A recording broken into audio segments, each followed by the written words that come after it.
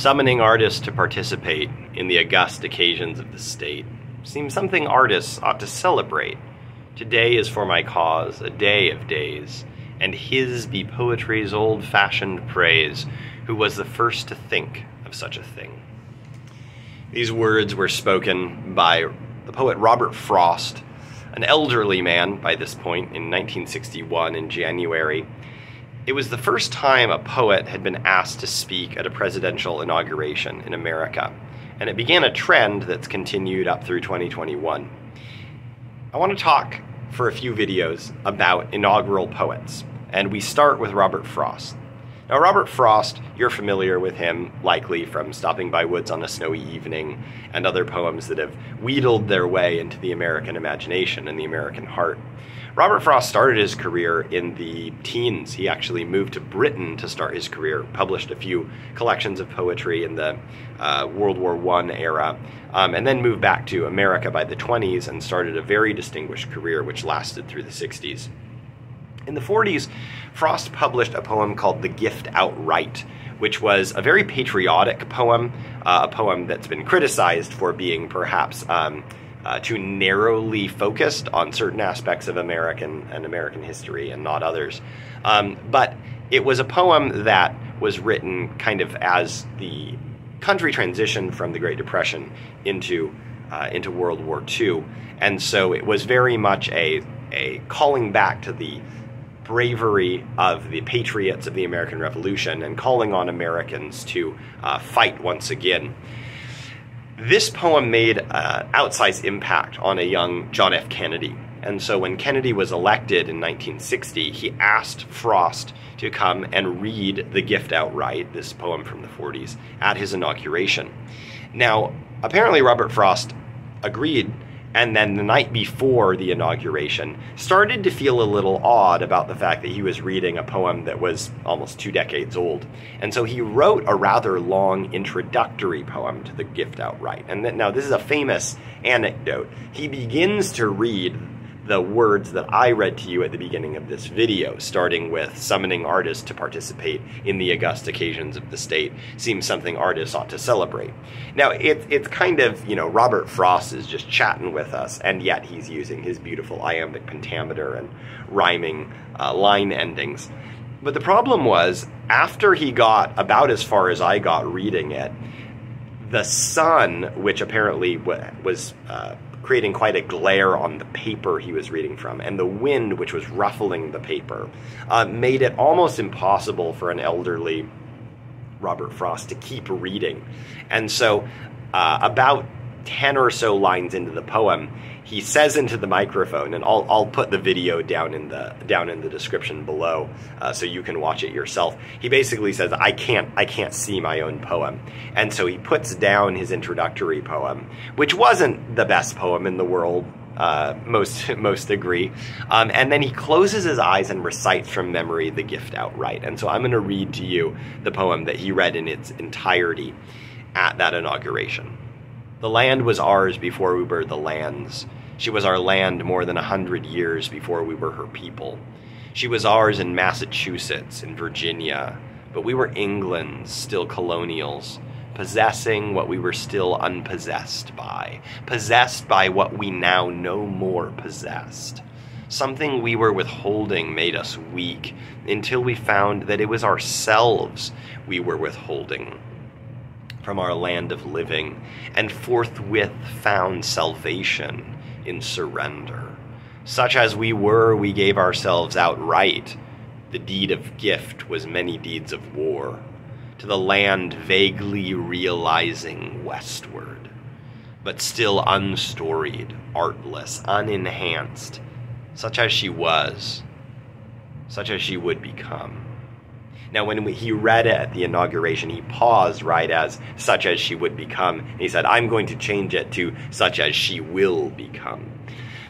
There, there was a real, a real projected optimism in Frost's whole demeanor. And at the end of the uh, of the poem that he didn't actually get to read all of, um, there's some lines that people have talked about as being just very rosy and maybe even bombastically optimistic. This is how his uh, original introduction to that poem ended. The glory of a next Augustan age, of a power leading from its strength and pride, of young ambition eager to be tried, firm in our free beliefs without dismay, in any game the nation wants to play, a golden age of poetry and power, of which this noonday's the beginning hour. Now, many who have read both The Gift Outright and this uh, opening introductory poem, which he only read part of, have talked about how Robert Frost seems kind of jingoistic in his, you know, this is just the greatest. Uh, today we're beginning this new golden Augustan age. It's almost imperial sounding, isn't it? Um, but people have pointed out how, you know, JFK projected very much a sort of pioneer language in his uh, in his campaign. He talked about a new frontier that the 60s would be a time when Americans, just like they had struck out across the plains in the 1800s, in the 1900s, were on a new frontier. Now, the space race and other things were certainly a civil rights, uh, which was very important to JFK and would be a gigantic fight for the first few years of the 1960s. These were the new frontier that JFK was looking at. And so I think Robert Frost was trying to pick up on this new frontier language. Now, today, that frontier language rings a, a, bit sour in our ears. And if we look at the gift outright, you know, where are the indigenous peoples of America, for example, in the gift outright? The land was ours before we were the lands. He's talking about the English colonials. Was it really theirs before they were the lands? Um, we also have this uh, very interesting description at the end to the land vaguely realizing westward, but still unstoried, artless, unenhanced. These lines have probably got the most criticism by uh, by both historians and other poets. Um, is it true that America, before the English colonists moved westward with this sort of manifest destiny attitude. Uh, was it really unstoried, artless, and unenhanced? I think there are two ways to read it. There's a way to way to say, yeah, he is totally eclipsing the indigenous peoples who did have stories, who did have arts, who did enhance the land with their cultures, with their agriculture. You know, let's remember that it was uh, the indigenous peoples of the East Coast who taught the English colonists, not so grateful, uh, how to survive uh, in the in the uh, in the winters in those first few years that the colonists were here. Um, I'm not a historian, and we don't need to go into all the details, but it's important to remember that language like this often sounds to us as if Frost is wholly ignoring everyone except for the English colonists.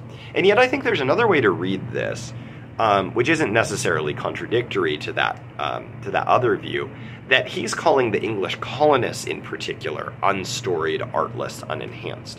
And it's certainly true that in the uh, late 1700s, early 1800s, there's this question of are the English colonies, which are now free, ever going to make anything of themselves culturally? Or are they all going to be sort of these um, bombastic rustics?